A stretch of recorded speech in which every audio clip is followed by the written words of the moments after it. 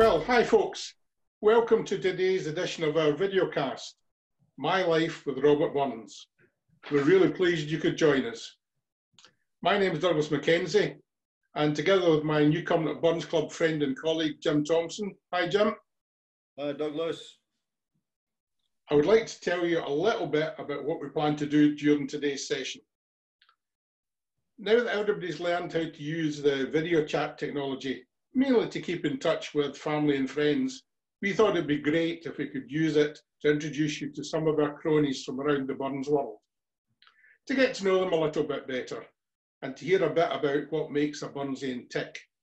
For today's session, we're delighted to introduce a crony who's become a Wheel Kent face as a talented speaker and reader on the Burns Supper Circuit. Cronies everywhere, to tell us about his life with Robert Burns, please welcome Graham Wight. Good afternoon, folks. Uh, good afternoon, Douglas. Good afternoon, Jim. Pleasure to be here. You had a good day, Graham? Yes, very good day. Very, very good day. Very good. Good morning, Douglas. I think with the weather being quite nice this morning, it cheers everybody up. We've been really lucky during this lockdown that the weather's uh, been fairly good most of the time it's meant that we've not all been stuck in our houses, we've been able to get out in the gardens and out for a bit of fresh air. Anyway, that's not what we're here to talk about. Uh, to get us started, how about you telling us a little bit about yourself? Uh, well, I'm a, I'm a New Cumnock boy, born and bred. Uh, I had the pleasure of being born in, in Lime Road in New Cumnock. Um, and that's uh, quite extra special for for me and for being part of the, the New Cumnock Burns Club. Uh, Where, I was born. Road? Lime Road is uh, if, before you've gone out you come up heading for Kirkconnell, um, you kind of it's the last can you turn up to your your right. All right, I know, I know just a long straight yeah. road right up the top. It takes you up to the the old lime kilns that was up there. All right so named Lime Road. It was a, a wee prefab. It yeah. was in. The, so I was born 1965. So it's, ama- it's amazing how these these prefabs, which were always uh, temporary buildings when they were first built, amazing how they survived and have become very substantial structures now. Oh, they were great wee houses. Um, they were wee tin houses. That was the only thing. And uh, when if you you get thinner lichting, of course, with thinner lichting, the other nick there and uh, you were always told when you were wee, you had to sit in the middle of the living room flare. Couldn't get near the walls because if the lightning hit, hit the walls at all, if it hit your house, it just went right through the house. So anything that you touched, you were you were electrocuted. So you had to sit sit right in the middle of the, the, the flare. Wow, I didn't know that.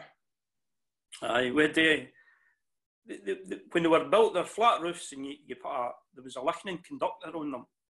And uh, many a time my mother would tell me that she would they would watch the listening, but the other houses that you could see, you would see the listening hitting the conductor, coming down and bouncing off the pad, and and shooting back up into the sky.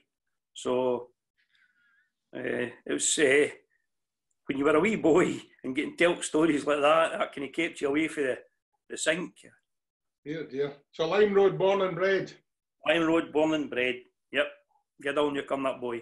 So you've lived in New Cumnock all your days?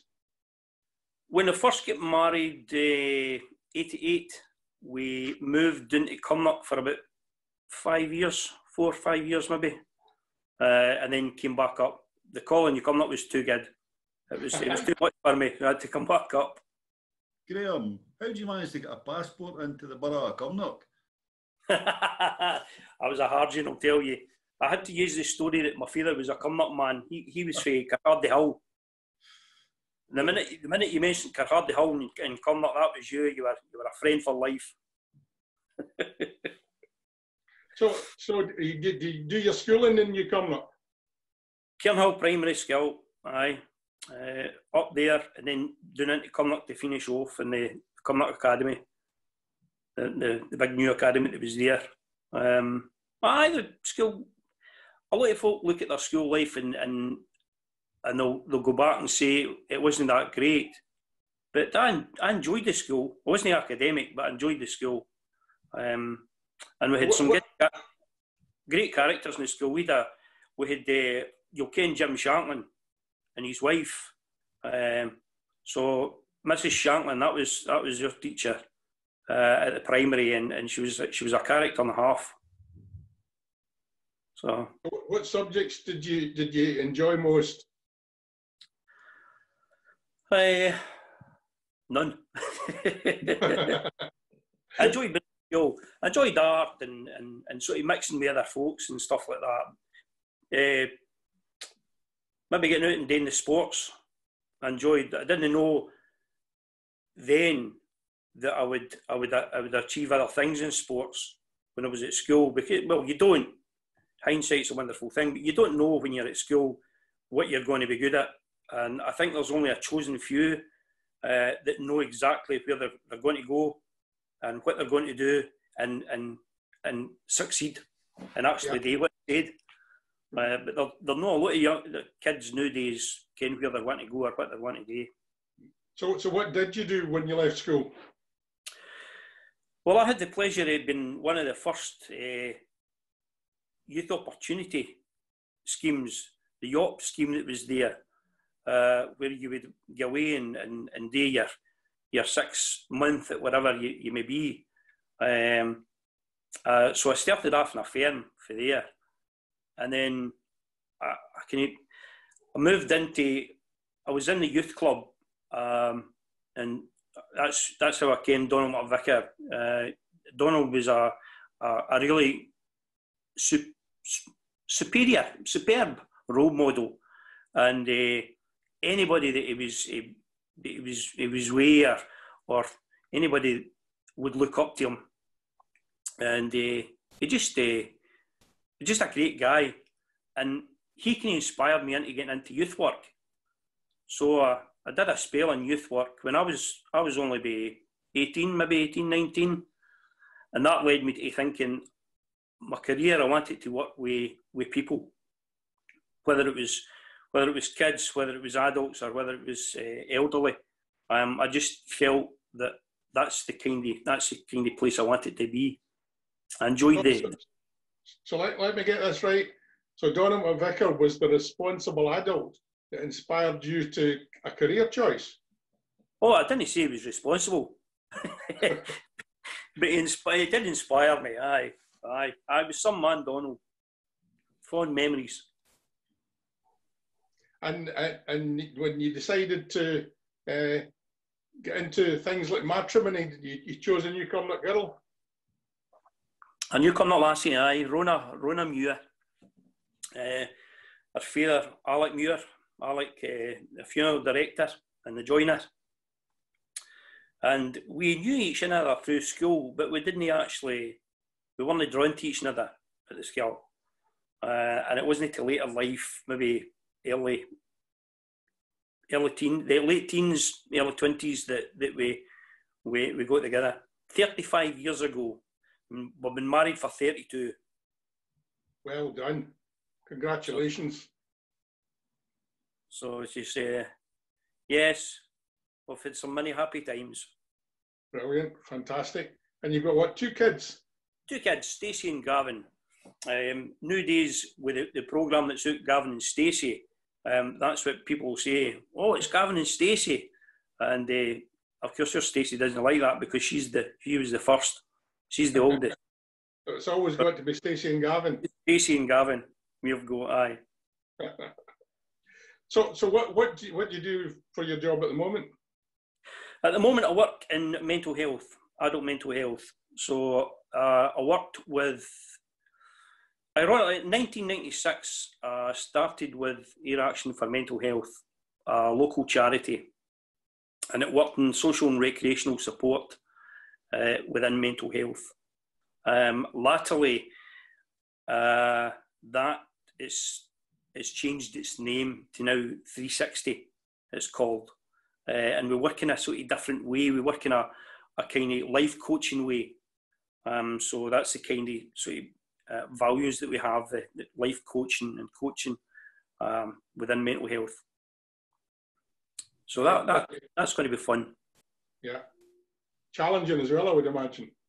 It, oh, it's challenging. It's certainly challenging, and it's it's uh, it's even more challenging uh, in this current climate um, because you're, we've, we've tried for years to, to get rid of social isolation and, and now we're, we're, we're actually creating social isolation.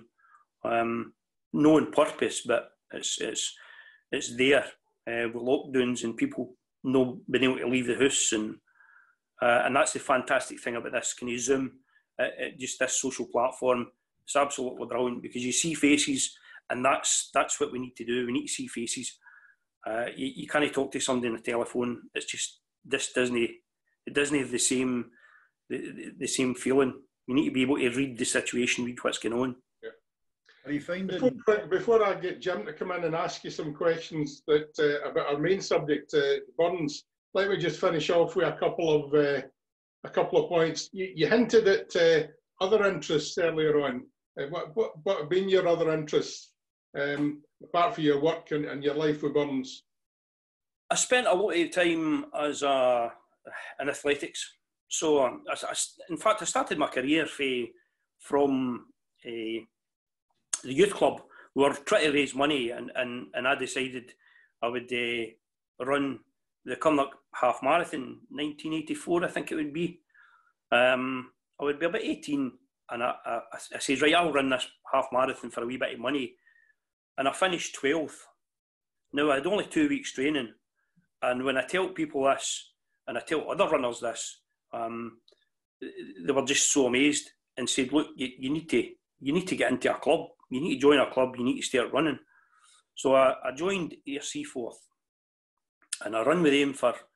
I played it running for uh, maybe five, six years, and then I met a man. Um, Bert Mackay, his name was. Uh, he used to. He, he owned Nickel and Mackay Steel in the at the airport, and Bert Mackay was a coach, and he coached uh, a, a fella called John Graham, uh, a Scottish internationalist marathon runner, and he, he he wrote me a lovely letter and he said to me, if I can take you and I can increase your mileage, you can be um, one of the top runners in Scotland.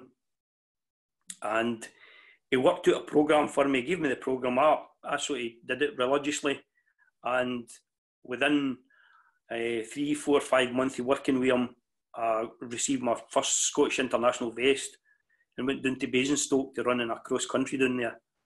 Um, and from there it just snowballed and represented represented Scotland both uh, on the three disciplines on the road, on the country, and on the track. So I've, I've had a, a very uh, pleasurable career and met some fantastic people along the way. Very good, well done. One final question for me before uh, I get Jim to talk to you a wee bit. Um, we, we all know that you, you go by the nickname Chalky, which a lot of people with the name White do. Is that something that's been there since primary school? Uh, it, it, was it was something that was there. Aye, it probably was, uh, but it wasn't for the primary school I go to. It was it was a a, a fella down the, the road for us, and he was called Billy McCracken. Uh, went by the nickname of Binky, and uh, he sort of gave me that that nickname. He was a lot older than me, but it was like we all did when we were young. We all always look up to somebody that's older than you, and I, I used to look up to him because he was in Lime Road as well. So, uh, and he, he, he gave me this nickname, and he gave me it because my second name is Wight, but it's no white in the colour. It's Wight as in the Isle of Wight, which was a standing joke for us for a for a long time because when we were when uh, Rona was pregnant with Stacey, and we, we kent it was going to be a lassie, and we told folk it was going to be a lassie. We didn't do any of these baby showers and, and stuff. Uh, folk would ask us out of our corner, and we used to say Isla. and there was only a handful of folk got that. And when we tell them that, and they say Isla Wight, oh, that's a lovely name. Very good. Uh, standing joke for a while. But uh, I went to, I've got two nicknames. I, I went to Bulgaria in 1992 with a big pal of mine, Hugh McHarg, and his wife Jean. And we went up to our karaoke, and I put my name down as Charlie Wiggett. Uh, and the name Wiggett came from the, the post the post woman in uh, Cumnock in the bar hall. When we stayed in the bar hall, she came to the door. There was nobody in, so she went next door and she said, "Is there a Mister and Mrs. Wiggett stay here?" and of course, next door was saying, "No, there's a Mr. and Mrs. White stay next door, and there's a Mr. and Mrs. White stays just further up the road, which is is chalky white for the for the Burns Club. They stay just further up the road to us. I said, no, no, it's definitely Wiggett. You can see here, W I G H T Wiggett. so I signed my name as Charlie Wiggett for this this karaoke, and ever since that nickname has stuck. So Hugh and, and some of the boys that I worked with in Arthur Dyer's factory when I started in there call me Charlie. so I'll answer to anything though. Very good. Well, for Charlie, I'll, I'll pass over to Jim to start talking to you a wee bit about Robert Burns. So, Graham, what drew you into Burns? I was invited doing in 1996, and I was invited to the Burns Supper, which was held in the community centre that, that year. And uh, it was Hugh McHarg again that suggested that I come with him. So uh, I went down, and of course, when I went to the one supper, I didn't know what to expect. I didn't know what Burns etiquette was. Uh, I really didn't know much, much more about Burns other than the Tam O'Shanter and Two Loose and Two Moose.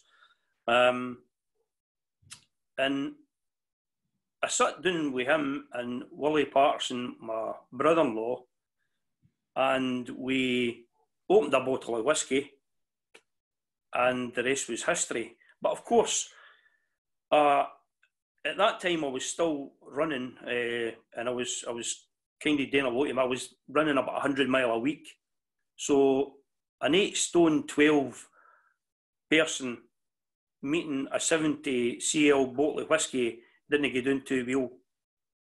Uh, so uh, I ended up, I think, I think I ended up a wee bit kind of inebriated that day. I was full as I could, as you say up here. I take it you enjoyed yourself at your first one supper then? I did. I thoroughly enjoyed it. I enjoyed the start of the night. I kind of lost it a wee bit at, the, at, the, at the other end of the night. But uh, it was it was very, very entertaining and it drew me back. And ever since then, I've, I've thoroughly enjoyed it. How did you migrate from that into being a reader and, and then a speaker? I kind of, um, I, I, I came to a lot of things. I, I came to the smoker as well, uh, and uh, I've actually I get a, a great uh, painting that was done by Jim Wilson, an artist, the local artist. He was, in fact, he was my, my, my art teacher at Cumnock Academy, and he did the New Cumnock in the time of Burns. And I don't know if you'll remember that one. Do you remember that in Douglas? Yeah, yeah, I've it, got a copy of that. It, was, it was in the old bloke side and it was the bit where you went for your high tea and all that sort of stuff. But of course, he, he did this. Uh, I've got it here. I don't know if you'll be able to see it. Oh, aye. Yeah. But uh, they were all, they were black and white. But for um, for an extra wee bit of money, he would do it in colour for you. So they were just prints, and he did mine in watercolour for me. And and for that, the minute I saw it, I kind of stared at it. It, it was like a, it was like one of these moments with a light bulb. You could associate Burns with New Cumnock. You, you were you were walking by places like the Old Mill, and Ken and Burns had stayed there. You were walking by places like the Castle, and Ken and Burns was was going by that and would maybe have a have a drama in there. Um, so it kind of a light bulb moment, and it, it just kind of drew me into it a wee bit more. And I got the opportunity uh, when somebody asked me, in fact, I think it was yourself, Jim, I'm not sure, but they'd asked me to uh, do a wee thing at the smoker. Uh, and uh, I recited, uh, what was it, Loose, I think I did, because I, I think that is a fascinating poem for it's it's overlooked in the Burns Circle because everybody seems to go for a higher level poem or a, a, longer poem but but that is just incredible. And the, and the, the finish it with the power, the gift of years to see ourselves like others see us is just a, an, an incredibly uh, accurate description of what human life's all about. Um, and that just, uh, with that, I then get other opportunities to do other things. And it just took me a wee bit further. So if, if, if that was the, the, the first thing that you did in the Burns Club, had you ever had you, had you done Burns at school at all before that? I did it when I was younger, I, but I, I don't really remember it. Um, I had a, I, I've not got a great memory because um, when I was younger, and I, I tell the boys in the Zoom uh, when we do Zoom sessions, at the Burns Club Leathers, uh, when I'd fell off a roof when I was about nine year old, it left me kind of scarred with a bit of a memory problem.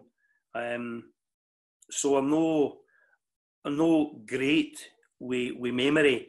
Um, and and I got a lift because I, I doing some of the poems that, that, that Burns has, has written. And I, I do uh, Death and Dr. Hornbook, which I think is one of Burns's fabulous pieces of work that's been done. Uh, and I'll do that and I, I remember it. Uh, so I'm, I'm, I'm quite chuffed with myself for doing that. But, I mean, that, that's a great achievement for somebody that has a, has a memory problem to be able to, to, to keep all that in. It takes a bit of learning. Well, it takes a bit of learning. Um, I, I, there's all, there's all different ways of learning. I, I think people um, learn learn poems different ways. Some people can read it and and will, will read two or three uh, verses and and learn them. And I tend to find my style of learning is listening to it, listening to the poem, and reciting along with the poem. And uh, I think one of the one of the best uh, CDs I ever got was the, the CD I got for the Burns, New Cumnock Burns Club, with all the different people on it reciting. And I, I used to listen to Willie Walk reciting, uh, and I would I would just just recite him, and then I would I would sort of recite it all the way down to work, and recite it all the way home, uh, and then I would start reciting it when I went out went to the went to the Bing or New, Newcomb Lagoons now, uh, and I would go out with the dog and I would recite it around about, and, and you would pass folk and you were speaking to yourself, so they would be looking at you know different different ways and thinking what's going on there. Uh, so, do you have a do you have a favourite poem? Death and Doctor Hornbook is is my favourite, um, and I, I kind of chose it because uh, it, there's a there's a there's a kind of paradox with with Tam O'Shanter. Tam O'Shanter's fabulous. It's a fabulous piece of work, and no doubt it's one of the one of Burns' best works. But the paradox for me with that is that you learn you learn to not like it, if you know what I mean. You learn to can hate it because everywhere you go, people ask you to do Tam O'Shanter, and you think, oh, no, no, that I wouldn't like to do it. I would, I would love to, love to sit down one day and, and actually learn it. But paradoxically, as I said, you, you get people asking for this, so you, you can learn to know, appreciate it as much because you want to put something else out there. So Death and Dr. Hornbook was was my equivalent to the Tam O'Shanter. You have a couple of verses that you could give us? Uh, well, it's, I love the start. Some books are lies from end to end, and some great lies will never bend. Even ministers have been kenned in holy rapture, arousing wid that times they've end and nailed with scripture. But this that I am going to tell, which lately on a nick befell, is just as true as the deals in hell or Dublin City, that airy nearer comes ourselves a muckle pity. And it just, it just, it just draws you into something, and and it just, uh, it's a wonderful poem once you actually start to decipher it and and find out what he was saying. And for somebody to sit down with the Grim Reaper and the Grim Reaper to to almost have a counselling session with the Grim Reaper, um, I thought it was fantastic, and it fitted in with the, the work that I did as well because when you're working in mental health, it's all about sort of sitting down, listening to somebody, and so it, it kind of married together. So I, I, just thoroughly enjoyed the poem. The good thing about Death and Dr. Hornbook for, for somebody who's new into Burns is that it, it, it, it makes you find out some of the references in it, like he's, when he's talking about the gravedigger and, and he uses a name and stuff like that. If if if you're if you're into the poem, which most folk are, because it's a lovely piece of work, it makes you to learn about the history of the country and the place at the time. Aye. And folk find that very enjoyable, and it's obviously clear that you have. So, so how was your journey in the Burns Club?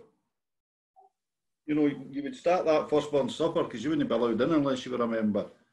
But uh, you progressed for there, I'm sure.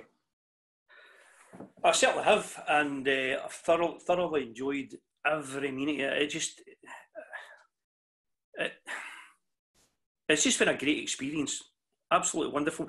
And I think when you get to learn Burns and you and you get to learn what he was meaning with with some of the poems that he wrote, as I say, you were saying about Death and Dr. Hornbook and, and some of the stuff that he wrote uh, weighs me for Johnie Ged's Hole now, quoth I, the gravedigger.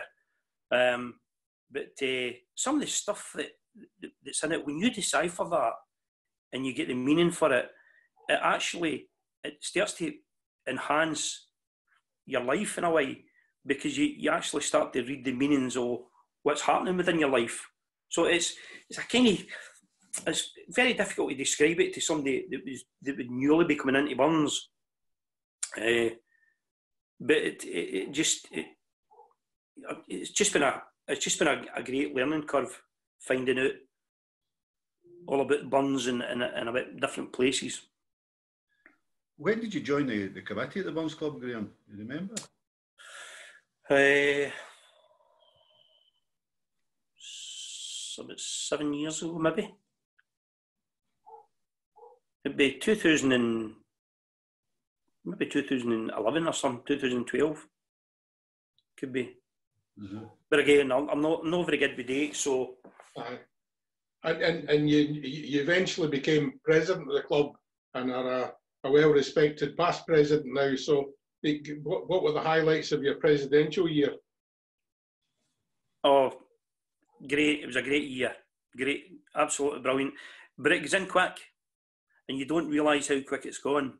Um, and you, you tend to look back at it and think, could I or have uh, did something differently or or but no, I don't think you would. I think there's when you're president, you, you don't really um, see what you're doing as much as the rest of the club, and there's a great bunch of boys behind behind every president, and it's just uh, it's just amazing. It's just a it's it's a great feeling. It's a, it's a great honour. Uh, and I've, I've got my wee sort of past president's badge that I brought down. Um, uh, it's just an honour to, to have been there and, and done that. And, and, have you have you joined any other Burns clubs or any other organisations connected with Burns? Uh, no, no, I've no. Uh, I don't know if I, I don't know if I want to join any other. I, I, I would feel kind of a strange disloyalty if I, if I joined another Burns club. Um, I enjoy mixing with other Burns clubs, uh, and and I, I think uh, one of my biggest ambitions is actually to win the quiz. take, take, it away for press week. is, is there any particular aspect of Burns that uh, gives you more pleasure than another? His, his songs. Um, I, I like a lot of Burns songs, uh, romantic songs. Uh, they, they're just second to none. Um, but I, I, I kind of admired, uh, admired the, the, the, what he stood for, his values and his ideals that he had.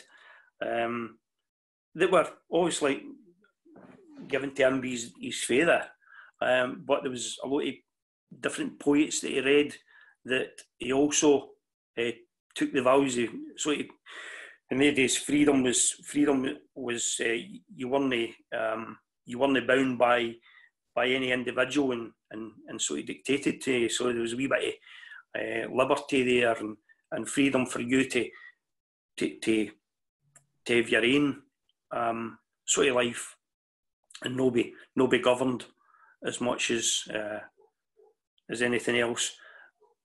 But he's that that was where my admiration for him came, um, and I I kind of tend to speak about that. Um, if, if I was doing a, a, an immortal memory, that's the kind of side that I admired with Burns. Um, and you said you said you also liked uh, the, the songs. Is there a particular song that was a favourite?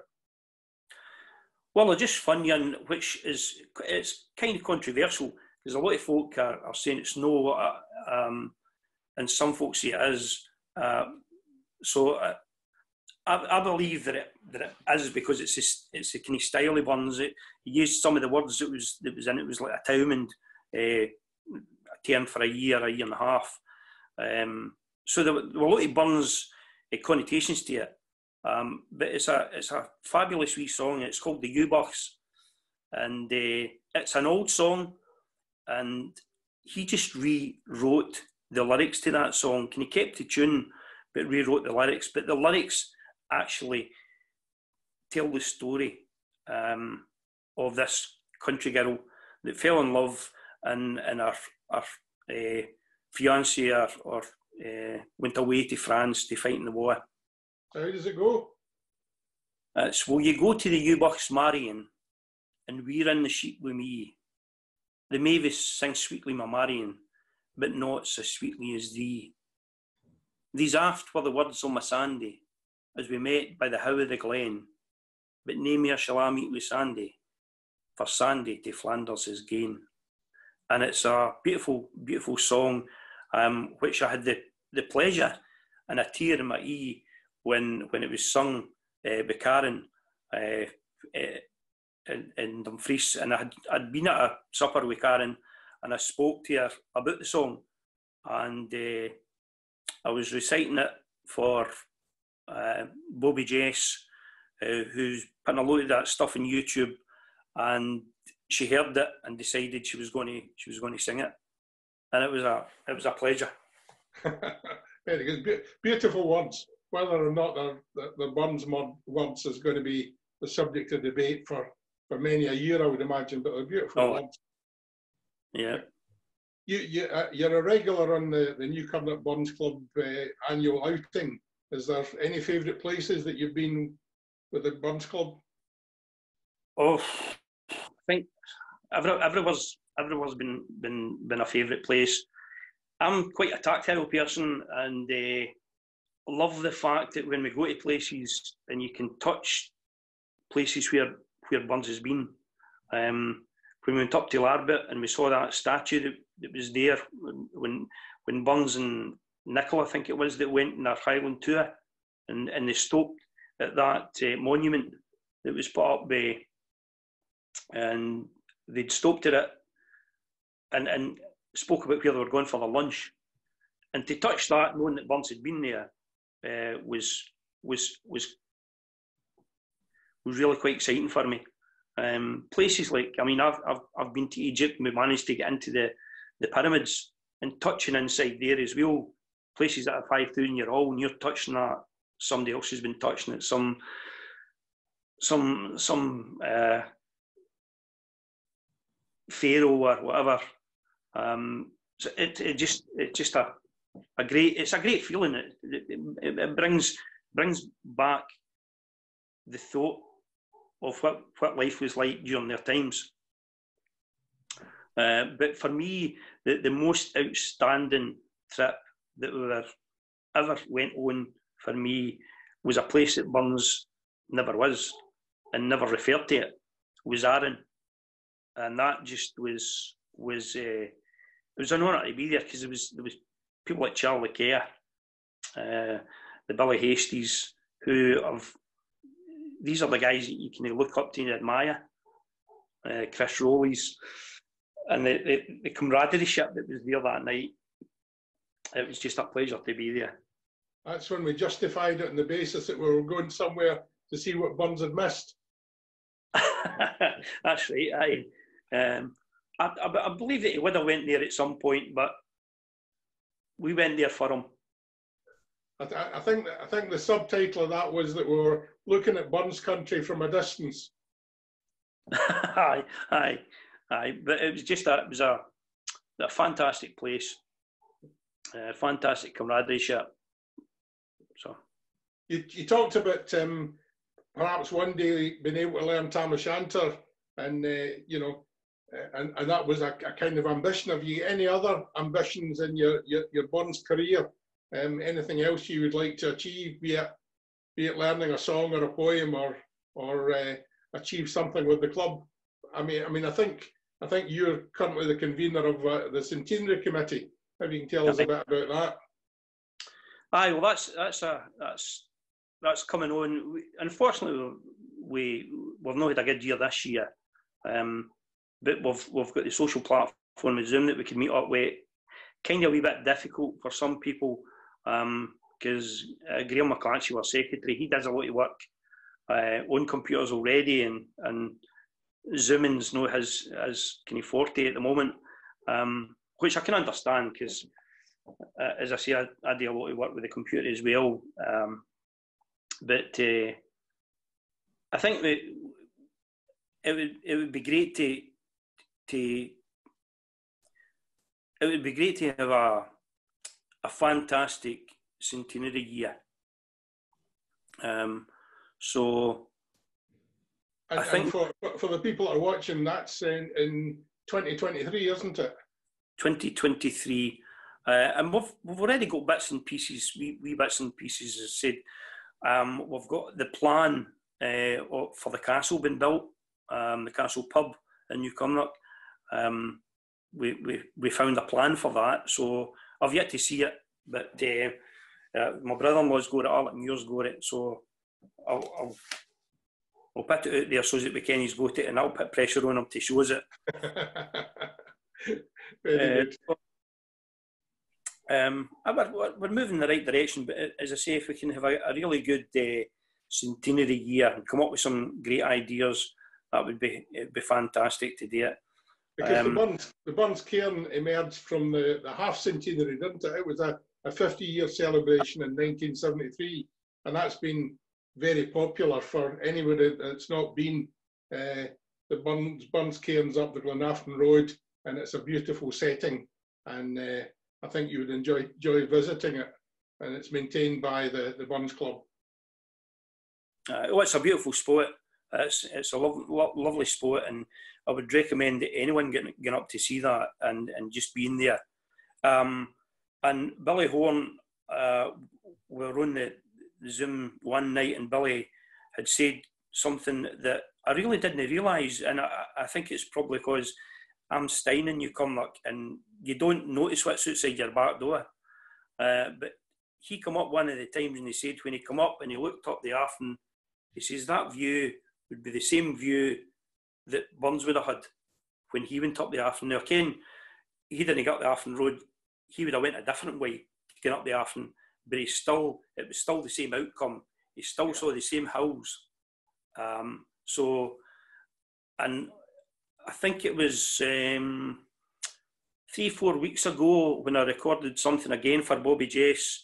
I recorded the Ewe-Bughts actually. I was I was uh, reciting the Ewe-Bughts. I did it in New Cumnock uh, at, the, at Burns Cairn, and uh, I just felt it was quite a fitting place to do it. Yeah, um, you can you can you can really you can see where Burns got the words "flow gently, sweet Afton," um, because it does flow gently at that point it's it's a beautiful river. Oh, beautiful eye. As and it, I mean, his, his words are, are uh, so perfect in that that that song. Uh, My Mary's asleep by the murmuring stream, and it does murmur when you listen to it. Uh, if you're sitting, and that that particular day when I was up there, um, I could hear the I could hear the, the, the stream or the burn murmuring as it was going down by. Um, well, we're, we're probably running out of time. I just wondered if there was, if there's anything else Jim wants to ask, or, or uh, perhaps if there's anything else that you don't think we've covered. To tell us about? Uh, well, we were asking uh, about uh, things that that, that uh, we have achieved as the Burns Club. I think we've achieved loads of things. Um, I think that w- what we've did over this lockdown session um, and this coronavirus has been second to none. We've been we've been so uh, so good at, at coming together, uh, and we've had some great great stuff out at Bobby Jesse's uh, Poetry Corner on YouTube. Um, we've had uh, you come to Burns Club reciting the man's a man for all that, um, and we've actually got the young generation coming through reciting Sweet Afton, um, and that is that is probably the, the, the, late stages now because we've everybody sent their stuff in. I think uh, one one to go, um, and it just shows you how the depth that we have within the, in the club, and it's great. It'd be great to see that when that, that comes through. So I've been I've been highly sort of delighted being part of that as well.